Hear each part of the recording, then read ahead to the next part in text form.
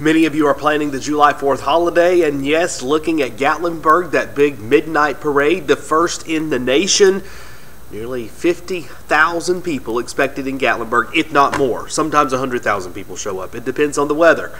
Well, this year we're looking for a nice warm night at midnight, the strike of 12 on 4th of July being in the 70s.